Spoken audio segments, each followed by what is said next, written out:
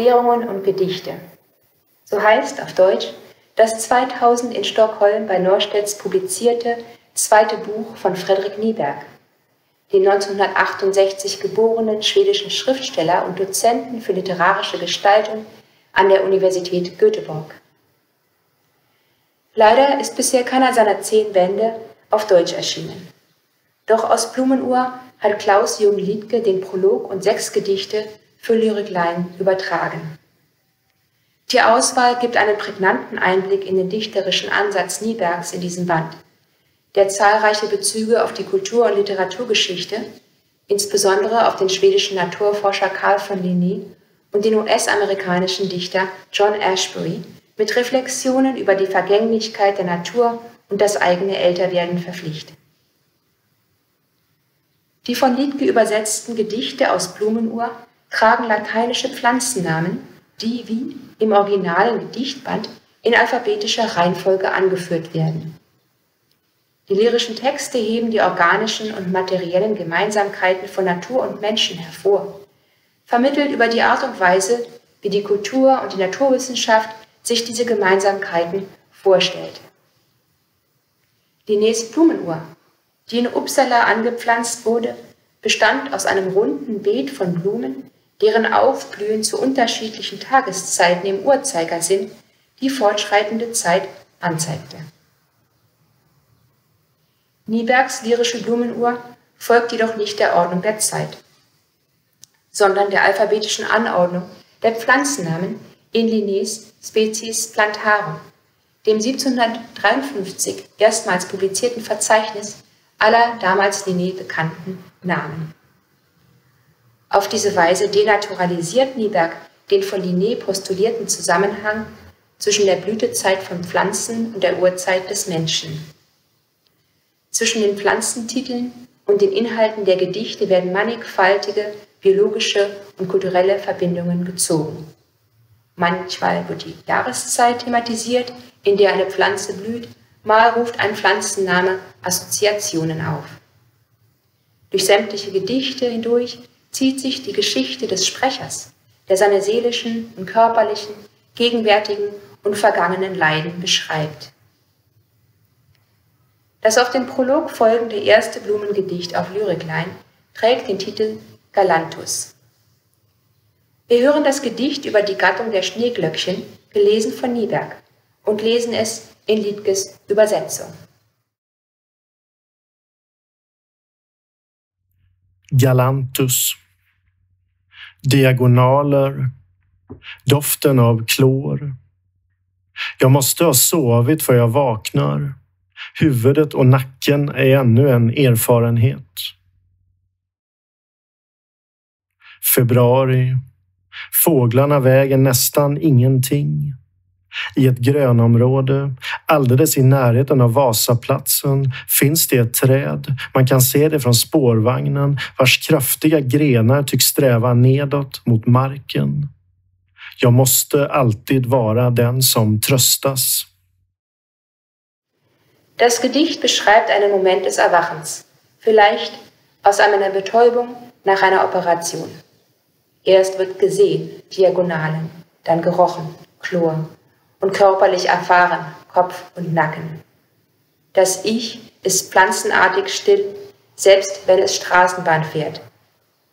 Es erblickt aus der Straßenbahn einen Baum, dessen kräftige Äste scheinbar nach unten in die Erde streben, vielleicht wie bei einer Trauerweide. Und das Ich denkt daran, dass es stets der zu Tröstende sein muss. Es ist, als versuche Nieberg, die Pflanzenwelt von Linnés naturwissenschaftlicher Kategorisierung für die menschliche Erfahrungswelt wiederzugewinnen. Das Ich imitiert die Bewegung des Schneeglöckchens, das seinen Kopf aus der Schneedecke steckt und erkennt in nach unten zeigenden Ästen menschliche Gefühle. Der Prolog von Niebergs Blumen- und Vergänglichkeitslyrik lässt sich als deren Poetologie verstehen. Wir hören und lesen den Prolog.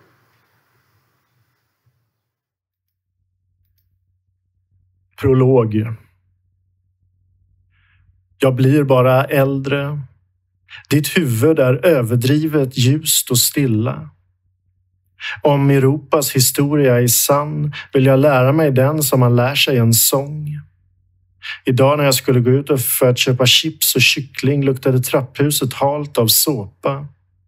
På hotell Entremont rör sig utsagorna hela tiden uppåt genom stroferna. Du torkar pannan med en ros och rekommenderar dess törnen.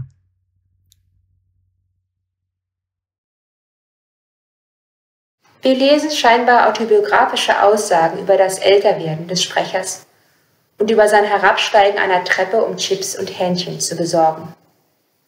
Diesen eher prosaischen Aussagen folgen eine Anspielung auf John Ashberys Ballade Hotel Lautremont und ein Zitat daraus, die helfen, den Prolog zu entschlüsseln. Ashbury bezieht sich mit dem Titel Hotel Lautremont auf den Comte de Lautremont wie sich Isidore Lucien Ducasse nannte, der, der bei der Belagerung von Paris im Winter 1870 durch die Deutschen in einem Hotel an einer Krankheit jung verstarb. Ducasse ist bekannt für seine Gesänge des Mal d'Aurore, die mit ihrer Darstellung albtraumhafter Grausamkeiten die Surrealisten inspirierten und die ihrerseits unter anderem von Baudelaires Gedichtband Blumen des Bösen inspiriert wurden. Eine böse Blume ist auch Ashburys dornenbesetzte Rose, mit der ein Du sich die Stirn wischt und die Niebergs Prolog, Prolog zitiert. In Ashburys Gedicht wird der Vers You mop your forehead with a rose, recommending its thorns, von der vorletzten zur letzten Strophe wiederholt, wobei er eine Zeile weiter nach oben rückt. Die Struktur wiederholter, aufsteigender Verse die Ashburys Ballade insgesamt bestimmt, erwähnt Nieberg in dem Satz, im Hotel Lautremont bewegen sich die Aussagen die ganze Zeit Strophen aufwärts. In Ashburys Gedicht geht ein Wir hinaus ins Offene, als stiege es eine Treppe hinauf. Erst spricht dieses Wir die Hoffnung aus, die Pattsituation, the Standoff, der Geschichte zu beenden mit dem Standoff der Geschichte ist vielleicht gemeint, dass die Zeit im Fortschreiten die Lebewesen als Geisel nimmt und ihnen das Leben abpresst. It was their choice after all that spurred us to feats of the imagination. Now, silently, as one mounts a stair, we emerge into the open. And in so doing, deprive time of further hostages to end the standard that history long ago began. In der folgenden Strophe, in der der Treppenvers eine Stufe nach oben steigt, wird diese Hoffnung aufgegeben. Das Vorrücken der Zeit lässt sich ebenso wenig aufhalten wie das Aufrücken der Verse. Müssen wir, fragt der Sprecher, um die Pattsituation der Geschichte zu beenden, immer weiter drängen in die Perversität? Now, silently, as one mounts the stair, we emerge into the open. But it is shrouded, veiled. We must have made some ghastly error.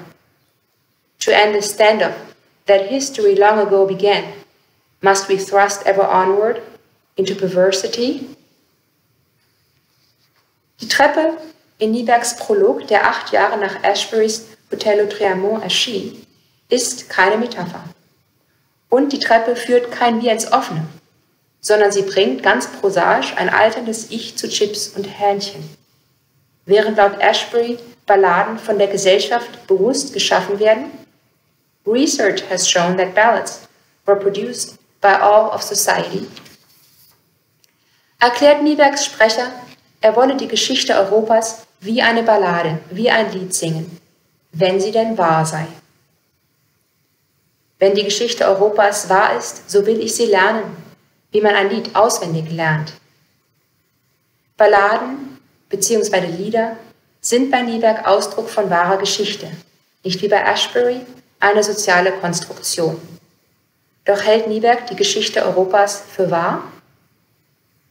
Sind seine Gedichte in Blumenuhr Lieder über diese wahre Geschichte? Es sind zumindest beim Lesen klingende, Gebilde über die Geschichte der europäischen Pflanzenkunde und über die Geschichte eines diese Kunde erzählenden welkenden Ich.